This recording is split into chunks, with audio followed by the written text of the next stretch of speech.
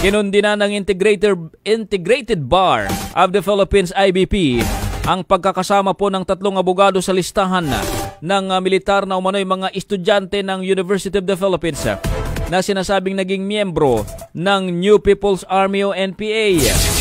Ayon naman kay IBP President Domingo Egon Cayosa, ang mga abogadong sina Rowan Libarios, Alexander Padilla at Rafael Angelo Aquino ay hindi mga miyembro ng NPA at hindi rin nahuli o napatay.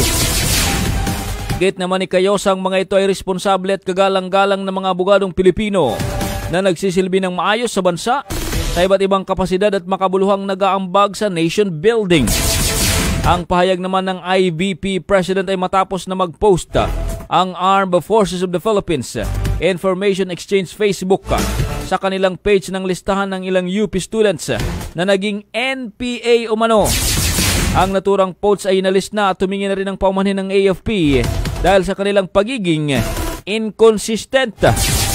Dahil dito binatikos ng IBP ang red tagging dahil ito mano ang nakakakompromiso sa seguridad at kaligtasan ng isang uh, naakusang individual at nagdudulos uh, ng unwarranted risk, tensyon at distress sa kanilang mga pamilya, kaibigan at iba pang ah, mahal sa buhay.